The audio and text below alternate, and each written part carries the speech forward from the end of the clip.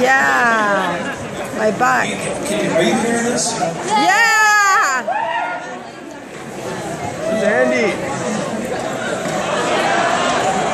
Yeah. Okay, well, here we go. Back in the early days of my music career, some musician friends and I decided to hit the road and play some shows. We hitched a ride with another band from Halifax to Toronto, a distance of just over a thousand miles. We had no plans for our return trip. We were so confident in our brilliance, we were sure we'd fly home first class with millions in our pockets. Well, the trip didn't go quite as planned. Some shows fell through, some shows didn't pay at all. The trip went way over budget. When it was time to go back home, we were screwed. We were broke and stranded.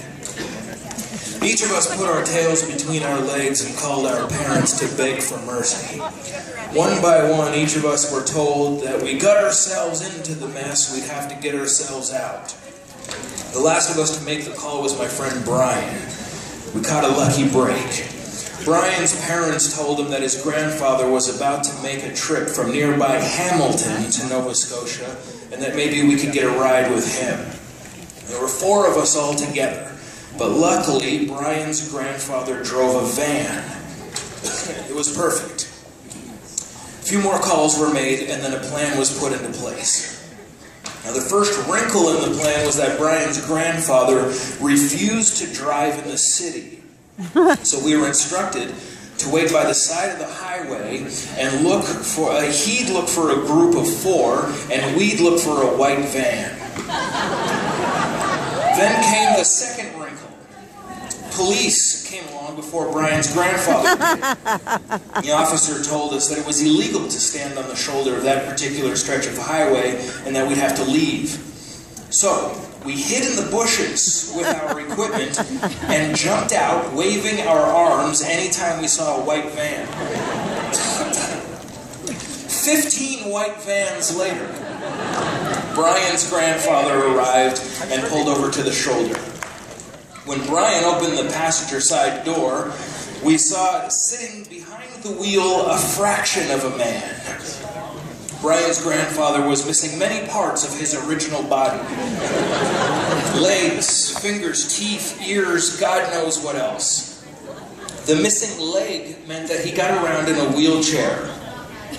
And the wheelchair meant that the van was customized with a hydraulic platform system that would allow him to get in and out on his own. And the equipment meant that there wasn't much room in the van for passengers. There was really only room for one. I don't know where your efforts are going to go, he said with the most gravelly voice I've ever heard. He didn't actually use the word efforts, but I will say that he referred to us as you effers for the rest of the trip. Now, Brian sat up front with his grandfather. The rest of us twisted and contorted ourselves into the back, being careful not to touch the wheelchair, any of the equipment, or the old man's blanket as per his instructions. It was almost impossible and extremely uncomfortable, but we were grateful for the ride. Brian's grandfather was one of the top three scariest human beings I've ever encountered.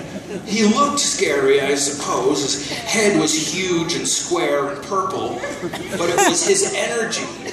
He was like a cage of constant fury. And even though he was disabled, he radiated the impression that he could kill you with two fingers, maybe even just with a look. I dared not make a sound or make eye contact in the rearview mirror. Hey guys! Uh, so, as soon as we started driving, our friend Corey fell asleep. His body was practically tied in a knot as he rested on the steel bed of the van, but he's one of those guys who can sleep anywhere and through anything.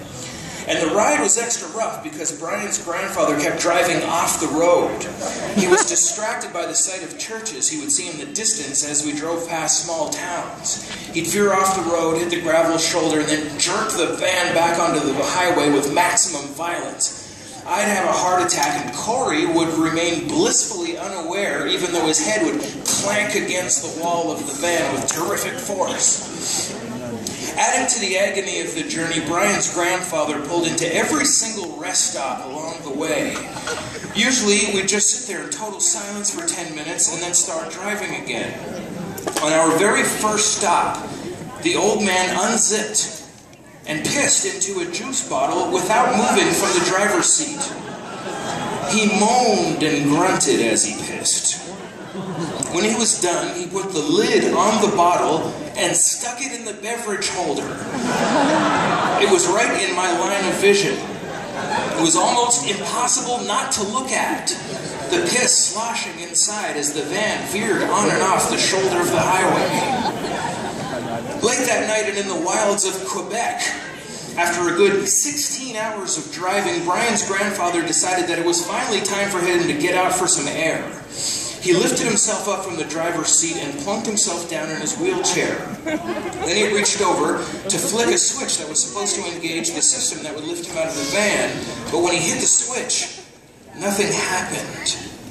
A new fury blazed in his eyes. He looked over the equipment and spotted the problem. In his slumber, my friend Corey who had been asleep for this full 16 hours, by the way, kicked out one of the wires that powered the system. The old man exploded. I told you rotten effers not to touch anything. Corey jolted awake. What's the problem? What happened? Tell me what to do. I'll fix it. Don't touch effing thing, you curly CSer, or I'll rip your stupid face off. CS? He lifted himself out of the chair and let his body crash to the floor of the van. It was very upsetting. He then crawled over us to get to the problem area. He struggled with the wires, growling like a jaguar as he worked. He was missing a thumb on one hand, so he had to use his teeth. Sparks flew out of his mouth as he cursed. Once the repair was made, he had to get himself lifted back up into his chair.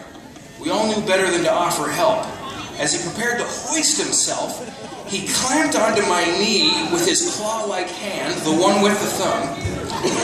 It was incredibly powerful. He squeezed punishment into me as he lifted. The pain was blinding. I wanted to scream, but dared not.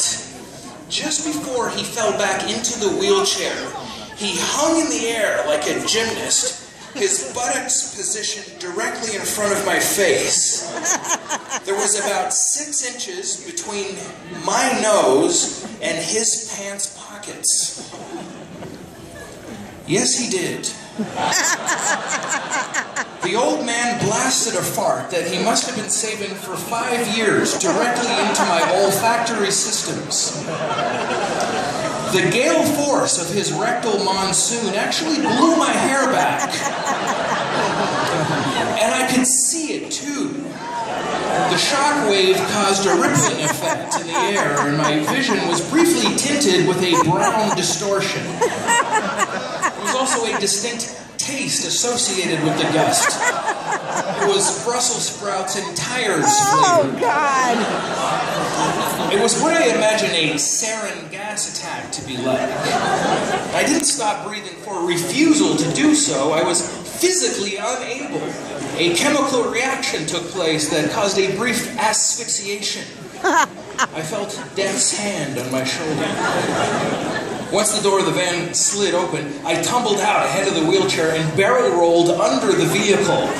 It was a survival instinct. I refused to come out. My friends had to plead and negotiate for several minutes before I agreed to emerge. I thought it preferable to risk death or desertion than to re-enter that rolling laboratory of cruelties. When we finally did recommence, the old man decided to fuel up. He maneuvered the van into the gas station's full service zone. When the attendant came to the window, he started speaking in French. What the F is wrong with this AH? I can't understand a GD word he's saying. I don't think he had ever heard French before.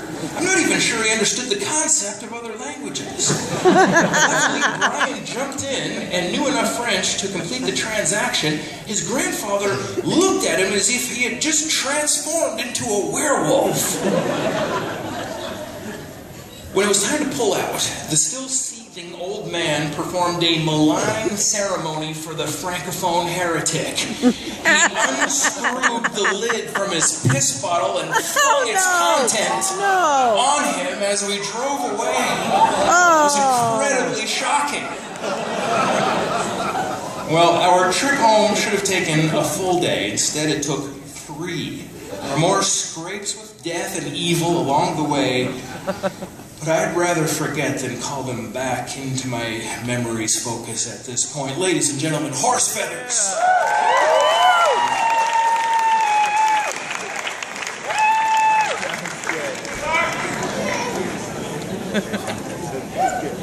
I was not.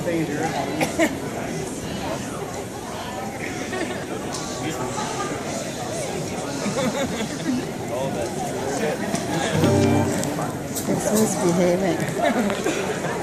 They're stupid.